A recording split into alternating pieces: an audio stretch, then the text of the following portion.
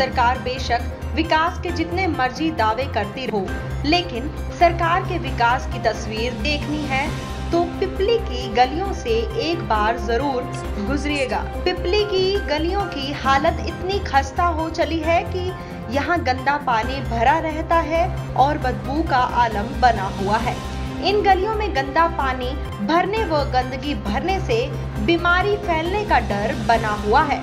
इतना ही नहीं, स्कूली बच्चे भी इन्हीं गलियों से होकर भविष्य संवारने स्कूल जाते हैं। पिपली वासियों का आरोप है कि बार बार कहने के बाद भी सरपंच व प्रशासन सुनने को तैयार नहीं है। इस बारे में मीडिया ने जब सरपंच से बात करनी चाहिए तो सरपंच ने मिलने से ही मना कर दिया।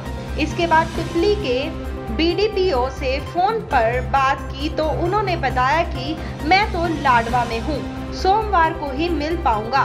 इससे पहले मेरे पास समय नहीं है। ग्रामीण सोम प्रकाश का कहना है कि उन्होंने कई बार इस बारे सरपंच को आगाह किया है लेकिन बार बार कहने के बावजूद भी उनकी सुनने वाला कोई नहीं है। अच्छा। साफ़ जवाब देवा। मैं नहीं कुछ करता नहीं हुआ। सो के एक बार सीधे सीधा कर देवा। मेरे को कुछ नहीं होता सिक्लोन नहीं होते आप सरपंच को मिले? कई बार गए जी सारे गए। कौन कौन नहीं गया सरपंच को? अच्छा। सारे जने गए जी। क्या नाम आपका? सोम प्रकाश। सरकार सरकार कह रही है भी हमने बहुत बहुत विकास किया है। तो सरकार यहाँ गणेश कॉलोनी में तो कोई काम नहीं करा।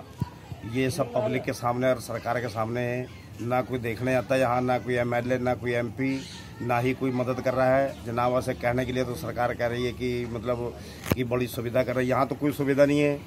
तो हम जो है बहुत परेशान हैं। स्कूल के बच्चे पानी में जो है नहल के आते हैं, यहाँ बीमारियाँ फैल रही हैं। यहाँ लोग बहुत परेशान हैं। Ladwa road Pipli Ganesh colony.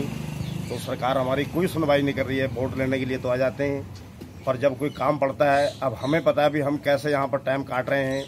हमारे जो बच्चे हैं स्कूल में, बाजे, ये किसी दिन जाते हैं, किसी दिन नहीं जाते, पानी को देख के, इस गंद को देख के। तो हमने एमएलए एमएलए के पास भी कई बार गए। उन्होंने कोई सुनवाई नहीं करी हमारी। बस ऐसे कह देते भी कर देंगे कर देंगे। पाँच साल होगा अभी तक तो कुछ किया नहीं। तो हर चीज़ से परेशान है सर पानी पानी चला तो सरकार हमारी जो है समस्या को हल करें।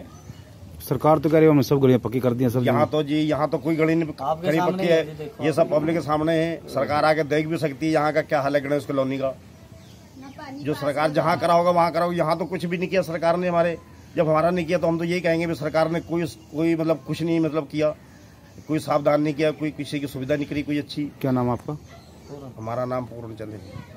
हमारे बच्चे स्कूल जाने से भी परेशानी है। बता स्कूल नहीं जाते हैं तो बता मैडमें बोलती हैं अब ये बात गंद में कैसे निकल के जाए? बच्चे बीमार तो पड़ रहे हैं। हमारा कोई सावधान नहीं कर रहे हैं ना आगे पानी का निकास निकाल रहे हैं ना कोई गली बन रही है। हमारे बच्चे स्कूल से सारे बैठ रहे हैं। हम बहुत परेशानी में हैं यहाँ पर ना कोई कूड़ा उठाने आता ना कुछ उठाने आते हैं। बहुत गंद में फिर रहे हैं हम यहाँ पर। क्या नाम है आपका? नाम बता दे नाम मायावती। आज प्रकाश टीवी के लिए कुरुक्षेत्र से कुलदार सिंह की रिपोर्ट। ताज़ा अपडेट्स के लिए अर्थ प्रकाश टीवी को सब्सक्राइब करें और बेल आइकन को प्रेस करें।